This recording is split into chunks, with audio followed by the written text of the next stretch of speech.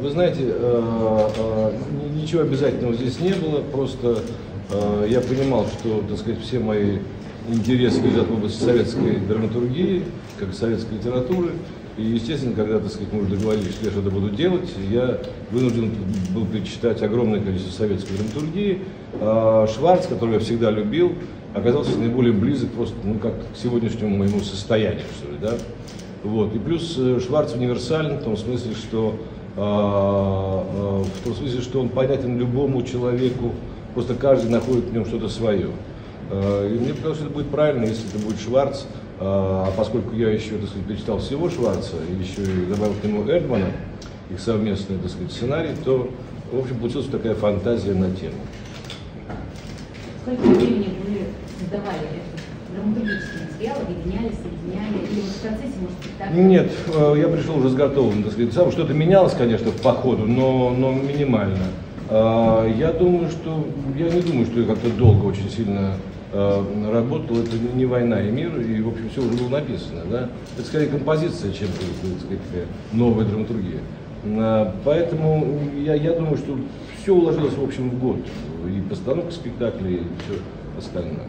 Вообще какое-то случилось ли профессиональное, творческое, мировоззренческое открытие во время работы с этим материалом, во время подготовки? Мировоззренческое вряд ли, э, поздновато. Вот. А что касается творческого, ну, конечно, да, это просто другой, другой вид искусства, я бы сказал. Практически другой вид искусства. Понимаете, это э, то, что я знал когда-то, я забыл. Вот, э, поскольку не занимался этим ну, почти там, 40 лет.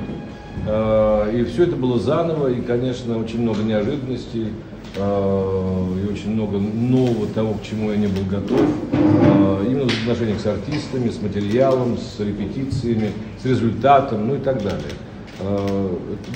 Я сказал, новый опыт, действительно такой, по-настоящему новый опыт. Вот, может быть, самое главное открытие, самое главное понимание, да, все равно, мне кажется, когда мы ныряем, ну, ну это не новое, нельзя написать новое, конечно, для вас но когда мы заново открываем какую-то сферу, а, может быть, чуть-чуть меняется представление. Вот какое основное понимание о том, что отличает театр как искусство от кино в плане языка? Что важно в театре, что может в кино не так важно, наоборот? А, работа режиссера в театре – это олицетворенный сизифов труд. Если в кино я могу что-то зафиксировать, то в театре я практически ничего зафиксировать не могу. И я каждый раз, приходя на вот сейчас вот прогоны, каждый раз приходя на прогоны, я понимаю, что у меня есть шанс увидеть совершенно новый и другой спектакль. А, иногда редко это радует, э, изменения, а, чаще огорчает, но пока они работают стабильно, надо сказать. А, но я понимаю, что в любой момент это может превратиться в нечто противоположное. И в этом основное отличие.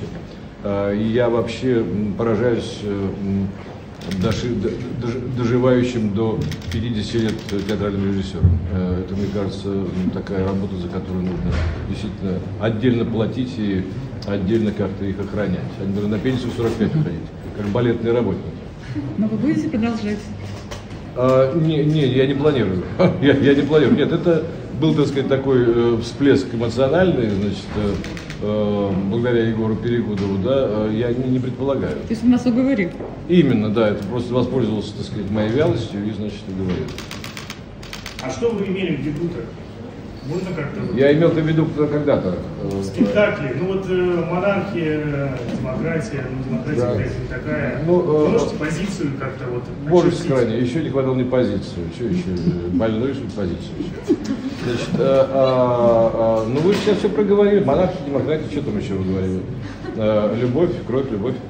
А, а, еще раз говорю, а, во-первых, я зарекся а, вообще формулировать, про что а, а, делается фильм, спектакль. То есть все равно, что бы ни сказал, все равно все по-своему оценят. Во-вторых, во-вторых, здесь все настолько, мне кажется, прозрачно, очевидно, это самое, да, и каждый э, найдет, э, это про любовь подумает, что, а это подумает, что, как вы говорите, про монархию, вот, а кто-то, да, про демократию, да, вот, самые глупые. Значит, э, э, и каждый найдет свое, и найдет, и слава богу, или не найдет, что тоже, в общем, нормально.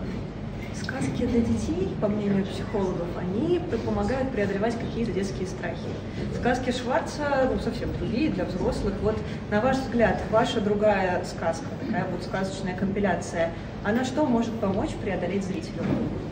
Ну, во-первых, ощущение одиночества. А, мне кажется, самое главное вообще в театре, и в частности вот в этом спектакле, мне кажется, это преодоление одиночества. Потому что есть масса мыслей, э, э, которых тебе кажется, так сказать, э, про которые думаешь только ты. И когда ты понимаешь, что про это думает еще кто-то, это как-то, ну, как-то, я бы сказал, успокаивает.